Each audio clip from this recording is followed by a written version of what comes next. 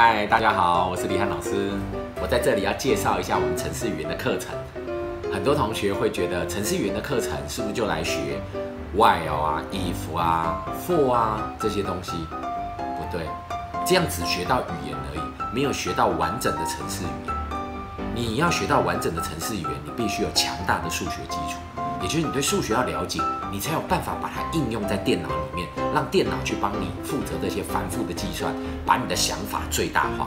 我举一个最明显的例子就好了，例如，如果各位家中房屋有贷款的话，那贷款两百万分二十年还，每个月还多少钱？这个也是用电脑算的，对不对？你常常在上网的时候，你可能搜寻一下哦，贷款利率表，你就要输入你贷款总额多少，再来就是你要贷款几年，那一按个 Enter，它就每个月还多少出来。可是这背后的数学逻辑，你是不是要了解，你才有办法写出这一个完整的程式？OK，所以我们做的程式语言是跟数学做结合的。我们自己本身有教高中数学，有教国中数学，我们把高中数学跟国中数学，把它应用在程式语言上面。让你知道数学的应用在哪里，而且让你的程式语言可以变到最大化。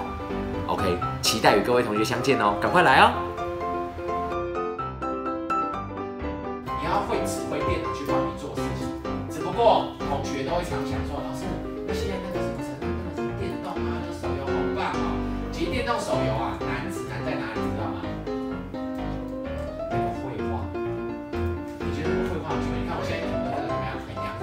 对？只不过你在上面那个哇，那个剑，假设都是剑，拿到红色剑的哇，超帅的，一把都超帅的，有没有？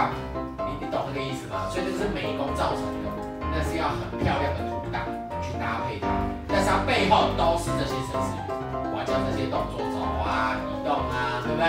执行什么啊？过这一关会触发什么事件啊？全部都是程式语，懂老师意思？不一样就是不一样。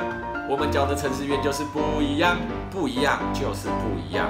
我们教的城市员就是不一样。